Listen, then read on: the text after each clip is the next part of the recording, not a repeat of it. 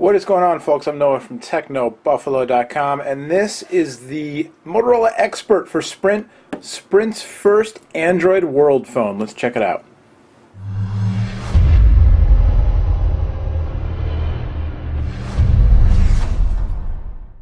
Alright, it is the ultimate business tool, but it's also part casual and all smartphone. It's the XPRT. You can see this guy right here. He looks part casual. Uh, it's the Motorola XPRT from Sprint and Motorola. Motorola, who is now Motorola Mobility, owned by Google, or I should say pending. Um, the uh, deal announced today, Monday morning, August, what is it, August what? 15th, something like that? Yes, August 15th.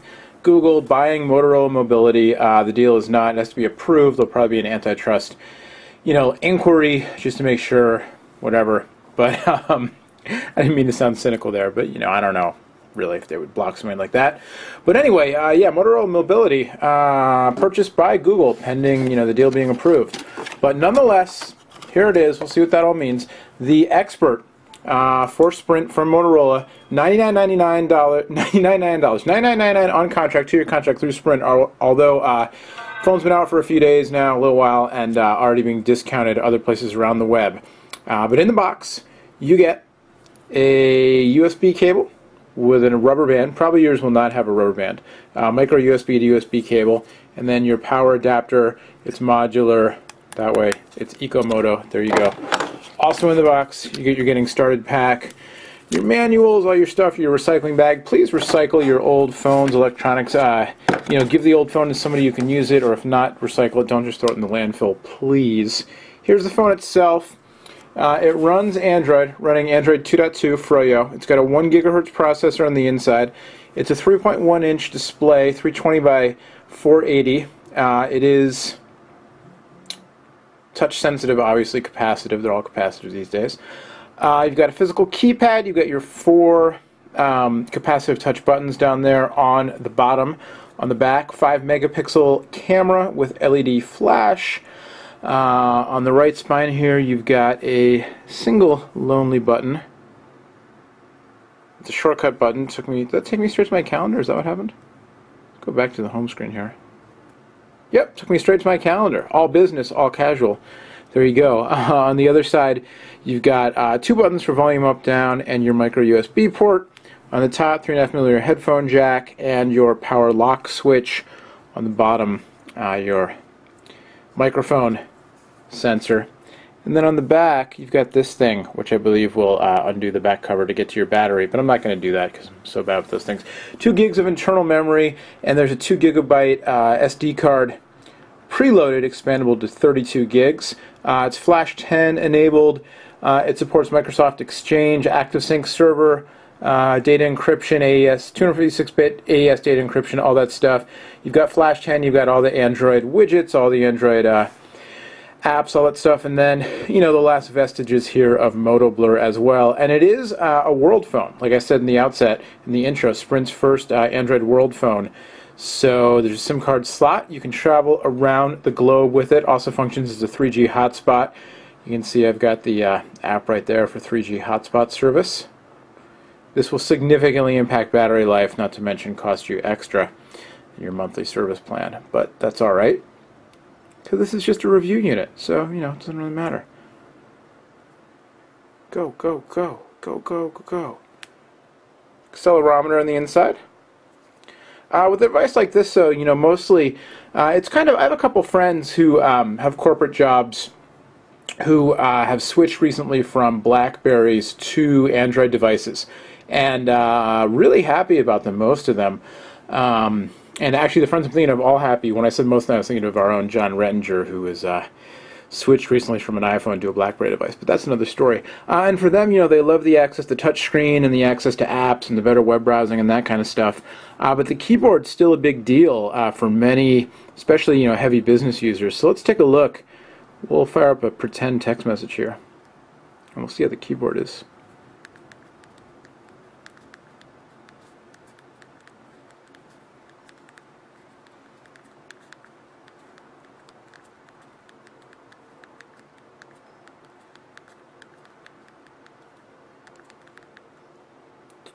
So, you know, pretty good. Made a couple of mistakes there my first time typing on it, but you've got this kind of dual beveled surface here.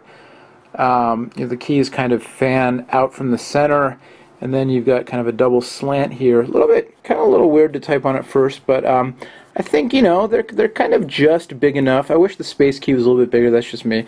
Kind of just big enough that most people can probably adapt pretty well.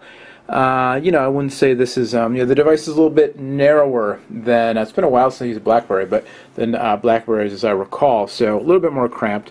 You got the voice search button down there, which is nice.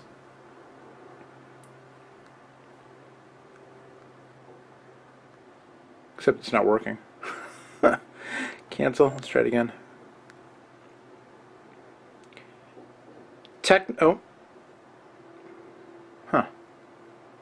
connection problem there. Maybe it's because I have the uh, the hotspot on. Let's turn that off. Or maybe it's just faulty.